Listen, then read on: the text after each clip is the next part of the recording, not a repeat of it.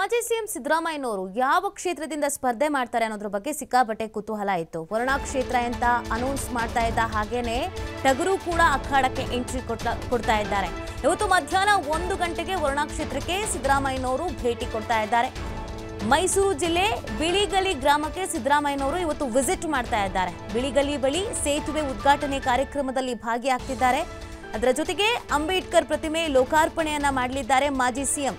ಕಾರ್ಯಕ್ರಮವನ್ನು ಮುಗಿಸಿ ಬೆಂಗಳೂರಿಗೆ ವಾಪಸ್ ಆಗಲಿದ್ದಾರೆ ಸಿದ್ದರಾಮಯ್ಯನವರು. ಸೊ ವರುಣಾ ಕ್ಷೇತ್ರ ಅಂತ ಅನೌನ್ಸ್ ಆದ ಮೇಲೆ ಮೊದಲ ಬಾರಿಗೆ ಕ್ಷೇತ್ರಕ್ಕೆ ಭೇಟಿ ಕೊಡ್ತಾ ಇದ್ದಾರೆ. ಎಲ್ರಿಗೂ ಕುತೂಹಲ ಇತ್ತು, ಎಲ್ಲಿಂದ ಎಲೆಕ್ಷನ್ಗೆ ನಿಲ್ತಾರೆ ಅಂತ, ಯಾಕಂದ್ರೆ ತುಂಬಾ ಆಪ್ಷನ್ಗಳು ಇತ್ತು. ಮೊದಲ ಪಟ್ಟಿಯಲ್ಲಿ ವರುಣಾ ಕ್ಷೇತ್ರ ಅಂತ ಅನೌನ್ಸ್ ಆಗಿರುವಂಥದ್ದು ಅವರ ಪುತ್ರ ಅವರಿಗೋಸ್ಕರ ಕ್ಷೇತ್ರವನ್ನ ತ್ಯಾಗ ಮಾಡಿದ್ದಾರೆ. ಸೊ ಇವತ್ತು ಆ ಭೇಟಿಯನ್ನು ನೀಡ್ತಾ ಇದ್ದಾರೆ. ಹಲವು ಕಾರ್ಯಕ್ರಮಗಳಲ್ಲಿ ಭಾಗಿಯಾಗ್ತಾ ಇದ್ದಾರೆ. ವಿವಿಧ ಕಾಮಗಾರಿಗಳಿಗೆ ಏನು ಚಾಲನೆ ನೀಡಬೇಕಾಗಿತ್ತು ಅಲ್ಲೆಲ್ಲ ಭಾಗಿಯಾಗ್ತಾ ಇದ್ದಾರೆ ಸಿದ್ದರಾಮಯ್ಯನವರು.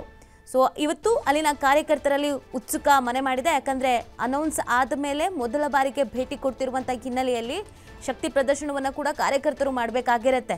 ನೀವು ಇಲ್ಲಿ ಬಂದು ನಿಂತಿದ್ದು, ಎಷ್ಟು ಒಳ್ಳೇದಾಯಿತು, ನಮ್ಗೆ ನಿಮ್ಮ ಮೇಲೆ ಎಷ್ಟು ಪ್ರೀತಿ ಇದೆ, ಇದೆಲ್ಲವನ್ನ ಇವತ್ತು ಕಾರ್ಯಕರ್ತರು ತೋರಿಸೋಕೆ ಸಕಲ ರೀತಿಯಾದಂಥ ತಯಾರಿಯನ್ನು ಮಾಡ್ಕೊಂಡಿರ್ತಾರೆ. ಇನ್ನು ಸಿದ್ದರಾಮಯ್ಯನವರು ಕೂಡ ಮೊದಲ ಬಾರಿಗೆ ಭೇಟಿಯನ್ನು ನೀಡ್ತಾ ಇರುವಂಥದ್ದು ವರ್ಣದಿಂದ ನಿಲ್ತಾರಾ, ಬದಾಮಿಯಿಂದ ನಿಲ್ತಾರಾ ಕೋಲಾರದಿಂದ ನಿಲ್ತಾರಾ. ಇದೆಲ್ಲದ್ರ ಬಗ್ಗೆ ಕೂಡ ಸಿಕ್ಕಾಪಟ್ಟೆ ಕುತೂಹಲ ಇತ್ತು. ವರ್ಣ ಅಂತ ಅನೌನ್ಸ್ ಮಾಡಲಾಗಿದೆ. ಇನ್ನೊಂದು ಕ್ಷೇತ್ರದಿಂದ ಸ್ಪರ್ಧೆ ಮಾಡುವಂಥ ಸಾಧ್ಯತೆ ಕೂಡ ಇರುವಂಥದ್ದು ಆದರೆ ಎಲ್ಲಿಂದ ಅನ್ನೋದ್ರ ಬಗ್ಗೆ ಕ್ಲಾರಿಟಿ ಇಲ್ಲ. ಇದರ ನಡುವೆ ವರ್ಣ ಕ್ಷೇತ್ರ ಅಂತ ಅನೌನ್ಸ್ ಆದ ಮೇಲೆ ಇವತ್ತು ಮೊದಲ ಬಾರಿಗೆ ಅಲ್ಲಿಗೆ ಭೇಟಿಯನ್ನ ನೀಡ್ತಿದ್ದಾರೆ. ಹಲವು ಕಾರ್ಯಕ್ರಮದಲ್ಲಿ ಭಾಗಿಯಾಗ್ತಿದ್ದಾರೆ. ಬಗ್ಗೆ ಮತ್ತಷ್ಟು ಡೀಟೇಲ್ಸ್ ಅನ್ನ ನೀಡ್ತಾರೆ. ನಮ್ಮ ಪ್ರತಿನಿಧಿ ಪುನೀತ್ ಲೈವ್ನಲ್ಲಿ ಜಾಯ್ನ್ ಆಗ್ತಾ ಇದ್ದಾರೆ. ಪುನೀತ್ ವರುಣಾ ಕ್ಷೇತ್ರ ಅಂತ ಅನೌನ್ಸ್ ಆದ ಮೇಲೆ ಮೊದಲ ಬಾರಿಗೆ ಸಿದ್ದರಾಮಯ್ಯನವರು ಅಲ್ಲಿಗೆ ಭೇಟಿ ಕೊಡ್ತಾ ಇದ್ದಾರೆ. ಅಲ್ಲಿನ ಕಾರ್ಯಕರ್ತರು ಯಾವ ರೀತಿಯಾಗಿ ಉತ್ಸುಕರಾಗಿದ್ದಾರೆ ಮತ್ತು ಇವತ್ತು ಸಿದ್ದರಾಮಯ್ಯನವರ ಭೇಟಿಯ ಹೈಲೈಟ್ಸ್ ಏನೇನಿದೆ?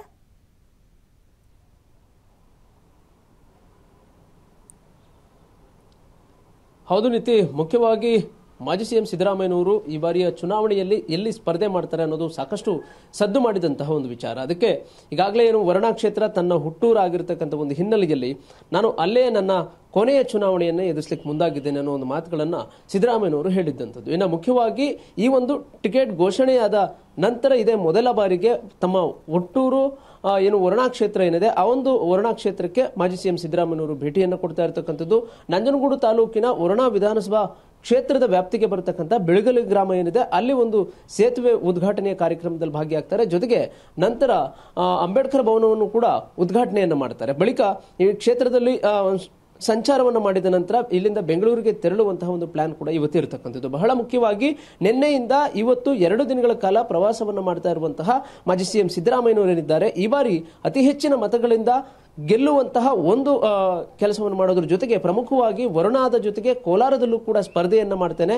ಎರಡು ಭಾಗಗಳಲ್ಲಿ ಸ್ಪರ್ಧೆಯನ್ನು ಮಾಡುವ ಮುಖಾಂತರ ಕಳೆದ ಬಾರಿಯ ಚುನಾವಣೆಯಂತೆಯೇ ಈ ಬಾರಿಯೂ ಕೂಡ ಎದುರಿಸಲಿಕ್ಕೆ ಮುಂದಾಗಿದ್ದೇನೆ. ಯಾಕೆಂತ ಹೇಳಿದ್ರೆ ಕಳೆದ ಬಾರಿಯೂ ಕೂಡ ಚಾಮುಂಡೇಶ್ವರಿ ಕ್ಷೇತ್ರದಲ್ಲಿ ಸ್ಪರ್ಧೆ ಮಾಡಿದಂತಹ ಸಂದರ್ಭದಲ್ಲಿ ಅವರನ್ನು ಸೋಲಿಸಲಿಕ್ಕೆ ಸಾಕಷ್ಟು ತಂತ್ರಗಾರಿಕೆಯನ್ನು ಮಾಡಲಾಯಿತು ಏನು ಬಿಜೆಪಿ ಮತ್ತೆ ಜೆಡಿಎಸ್. ಅದೇ ರೀತಿಯಾದಂತಹ ತಂತ್ರಗಾರಿಕೆಯನ್ನು ಈ ಬಾರಿಯೂ ಕೂಡ ಮಾಡುವಂತಹ ಸಾಧ್ಯತೆಗಳು ಹೆಚ್ಚಿನದಾಗಿದ್ದಂತಹ ಒಂದು ಹಿನ್ನೆಲೆಯಲ್ಲಿ ಎರಡು ಕ್ಷೇತ್ರಗಳಲ್ಲಿ ನಿಂತ್ಕೊಳ್ಳಿಕ್ಕೆ ಈ ಒಂದು ಪ್ರಯತ್ನವನ್ನು ಮಾಡಲಾಗಿರ್ತಕ್ಕಂಥದ್ದು. ಹೀಗಾಗಿ ತಮ್ಮ ಸ್ವಕ್ಷೇತ್ರವಾಗಿರುವಂತಹ, ಅಂದ್ರೆ ವರ್ಣ ವಿಧಾನಸಭಾ ಕ್ಷೇತ್ರದಲ್ಲಿ ತಮ್ಮ ಮಗ ಏನು ಹಾಲಿ ಎಂ ಎಲ್ ಎ ಆಗಿದ್ರು, ಅವರ ಒಂದು ಕ್ಷೇತ್ರಕ್ಕೆ ಸಿದ್ದರಾಮಯ್ಯನವರು ನಿಂತ್ಕೊಳ್ಳೋದ್ರ ಜೊತೆಗೆ ಕೋಲಾರದಲ್ಲೂ ಕೂಡ ಸ್ಪರ್ಧೆಯನ್ನು ಮಾಡ್ತಾ ಇದ್ದಾರೆ. ಹೀಗಾಗಿ ಕ್ಷೇತ್ರದಾದ್ಯಂತ ಸಂಚಾರವನ್ನು ಮಾಡೋದ್ರ ಜೊತೆಗೆ ಮತದಾರರನ್ನ ಭೇಟಿಯಾಗುವ ಮುಖಾಂತರ ಅಲ್ಲಿ ಒಂದೆರಡು ಸಭೆಗಳನ್ನ ಮಾಡತಕ್ಕಂಥ ಕೆಲಸವನ್ನು ಕೂಡ ಈಗಾಗಲೇ ಮಾಡಿದ್ದಾರೆ. ಇನ್ನು ಬಹಳ ಪ್ರಮುಖವಾಗಿ ಸಿದ್ದರಾಮಯ್ಯನವರು ಹಳೆ ಮೈಸೂರು ಭಾಗಕ್ಕೆ ಬಂದಿರತಕ್ಕಂಥದ್ದು.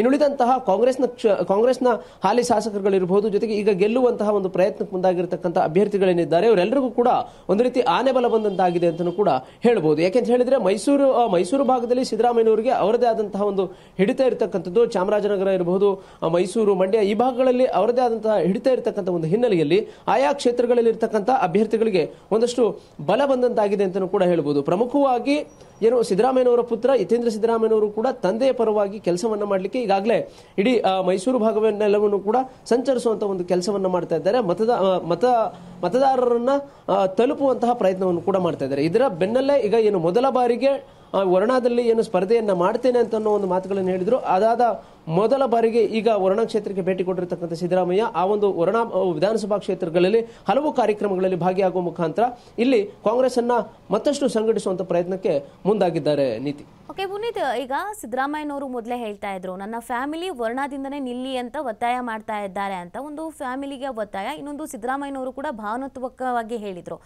ನನ್ನ ತವರಪ್ಪ ಅದಕ್ಕೆ ಅಲ್ಲಿ ನಿಲ್ತಾ ಇದ್ದೀನಿ ಅನ್ನೋದನ್ನ. ಮತ್ತು ಮಗ ಕೂಡ ಅಲ್ಲೇ ಶಾಸಕರಾಗಿರುವಂಥದ್ದು ಒಂದು ಹೋಲ್ಡ್ ಇದೆ. ಕಾಂಗ್ರೆಸ್ನ ಪ್ರಾಬಲ್ಯ ಇರುವಂಥದ್ದು ಸಿದ್ದರಾಮಯ್ಯನವರ ವರ್ಚಸ್ಸು ಅಲ್ಲಿ ಹೆಚ್ಚೇ ಇದೆ. ಹೀಗಿರಬೇಕಾದ್ರೆ ಅನೌನ್ಸ್ ಆದಮೇಲೆ ಅಂದರೆ ಟಿಕೆಟ್ ಅನೌನ್ಸ್ ಆದಮೇಲೆ ಸಿದ್ದರಾಮಯ್ಯನವರು ಭೇಟಿ ಕೊಡ್ತಿರುವಂಥ ಹಿನ್ನೆಲೆಯಲ್ಲಿ ಅಲ್ಲಿನ ಕಾರ್ಯಕರ್ತರು ಏನಾದರೂ ಪ್ಲಾನ್ ಮಾಡ್ಕೊಂಡಿದ್ದಾರಾ? ಅದ್ದೂರಿಯಾಗಿ ವೆಲ್ಕಮ್ ಮಾಡ್ಕೋಬೇಕು, ಆ ಥರ ಏನಾದರೂ ಪ್ಲ್ಯಾನ್ ಇದೆಯಾ ಇವತ್ತು?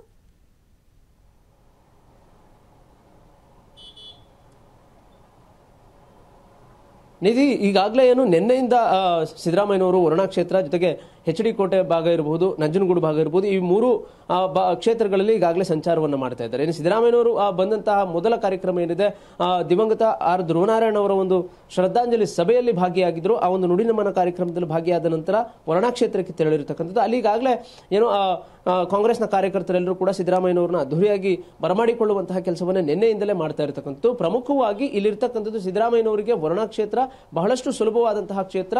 ತನ್ನ ಗೆಲುವನ್ನ ಬಹಳ ಸುಲಭವಾಗಿ ಆ, ತನ್ನದಾಗಿಸಿಕೊಳ್ಳಿಕ್ಕೆ ಇದು ಉತ್ತಮವಾದಂತಹ ಒಂದು ಕ್ಷೇತ್ರ ಅಂತಕ್ಕಂಥದ್ದು ಈಗಾಗಲೇ ಗೊತ್ತಿರತಕ್ಕಂಥ ವಿಚಾರ. ಹೀಗಾಗಿ ಸಿದ್ದರಾಮಯ್ಯನವರು ಒಂದು ಎರಡು ಮೂರು ಬಾರಿ ವರುಣಾ ಕ್ಷೇತ್ರಕ್ಕೆ ಭೇಟಿ ಕೊಡ್ತಕ್ಕಂಥ ಒಂದು ಪ್ರಯತ್ನ ಏನು ಮಾಡ್ತಾರೆ ಅದರಲ್ಲಿ ಮೊದಲ ಒಂದು ಭೇಟಿ ಇದಾಗಿರ್ತಕ್ಕಂಥದ್ದು. ಹೀಗಾಗಿ ಕಾಂಗ್ರೆಸ್ನ ಕಾರ್ಯಕರ್ತರೇನಿರಬಹುದು ಮುಖಂಡರುಗಳೇನಿರಬಹುದು ಇವರೆಲ್ಲರೂ ಕೂಡ ಯಾವ ರೀತಿ ಚುನಾವಣೆಗೆ ಸಿದ್ಧತೆಯನ್ನು ಮಾಡಿಕೊಳ್ಬೇಕಾಗಿದೆ ಇದೆಲ್ಲದರ ಬಗ್ಗೆಯೂ ಕೂಡ ಅವರಿಗೆ ಪಾಠ ಮಾಡ್ತಕ್ಕಂಥ ಒಂದು ಕೆಲಸವನ್ನು ಕೂಡ ಈಗಾಗಲೇ ಸಿದ್ದರಾಮಯ್ಯನವರು ಮಾಡಿರ್ತಕ್ಕಂಥದ್ದು.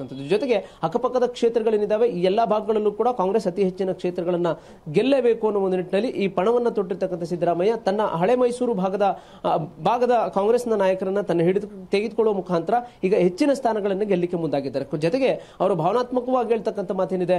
ಪ್ರಮುಖವಾಗಿ ನಾನು ಚಾಮುಂಡೇಶ್ವರಿ ಕ್ಷೇತ್ರಕ್ಕೆ ಒಳಪಟ್ಟಿದ್ದಂತಹ ವರುಣಾ ಕ್ಷೇತ್ರ ಏನಿದೆ, ಇದು ನನ್ನ ಊರು ಇರತಕ್ಕಂಥ ಒಂದು ಕ್ಷೇತ್ರ ಆಗಿದೆ. ಹೀಗಾಗಿ ಇಲ್ಲಿ ಆರಂಭವಾದಂತಹ ನನ್ನ ಒಂದು ರಾಜಕೀಯ ಜೀವನ, ಕೊನೆಯ ಚುನಾವಣೆಯು ಕೂಡ ವರುಣಾ ಕ್ಷೇತ್ರದಲ್ಲೇ ಆಗಬೇಕು ಅನ್ನೋ ಒಂದು ನಿಟ್ಟಿನಲ್ಲಿ ಈ ಬಾರಿ ನಾನು ಇಲ್ಲಿಂದ ಚುನಾವಣೆಯನ್ನ ಎದುರಿಸ್ತಾ ಇದ್ದೇನೆ. ಅದನ್ನು ಹೊರತುಪಡಿಸಿದ್ರೆ ಕೋಲಾರದಲ್ಲೂ ಕೂಡ, ಏನು, ಆ, ಕೋಲಾರದ ಜನರು ಕೂಡ ಅಲ್ಲಿ ಒತ್ತಡವನ್ನ ಹೇರ್ತಾ ಇರತಕ್ಕಂಥ ಒಂದು ಹಿನ್ನೆಲೆಯಲ್ಲಿ ಅಲ್ಲಿಯೂ ಕೂಡ ಸ್ಪರ್ಧೆಯನ್ನ ಮಾಡ್ತಾ ಇದ್ದೇನೆ ಅನ್ನೋ ಒಂದು ಮಾತುಗಳನ್ನು ಹೇಳಿದ್ದಾರೆ. ಒಟ್ಟಾರೆಯಾಗಿ ಹೇಳೋದಾದ್ರೆ, ಮೈಸೂರು ಭಾಗದಲ್ಲಿ ಕಾಂಗ್ರೆಸ್ ಅನ್ನ ಅತಿ ಹೆಚ್ಚಿನ ಸ್ಥಾನಗಳಲ್ಲಿ ಗೆಲ್ಲಿಸಲಿಕ್ಕೋಸ್ಕರ ಸಿದ್ದರಾಮಯ್ಯನವರು ಈಗ ಈ ಒಂದು ಪ್ರಚಾರವನ್ನ ಜೊತೆಗೆ ಸಂಚಾರವನ್ನ ಮಾಡ್ತಕ್ಕಂಥ ಕೆಲಸವನ್ನ ಮಾಡ್ತಾ ಇರತಕ್ಕಂಥದ್ದು ನೀತಿ. ಓಕೆ, ಧನ್ಯವಾದ. ನವೀನ್ ತಮ್ಮೆಲ್ಲ ಡೀಟೇಲ್ಸ್ಗಾಗಿ